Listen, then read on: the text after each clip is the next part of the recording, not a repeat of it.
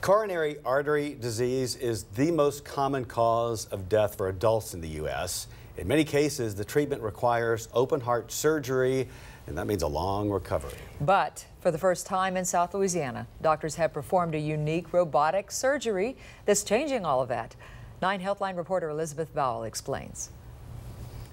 The patient you see is undergoing heart bypass surgery for coronary artery disease. Surgeons are putting in a new artery so that blood can flow around a blockage.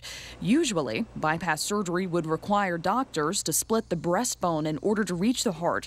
For the patient, that means up to a week in the hospital and months of recovery. But thanks to an innovative approach and state of the art technology, this patient will go home in just three days. It is exciting. It's always good to be on the cutting edge and, and pushing forward and doing doing a better and better job. The surgeon is using a Da Vinci surgical robot to perform the bypass through the rib cage.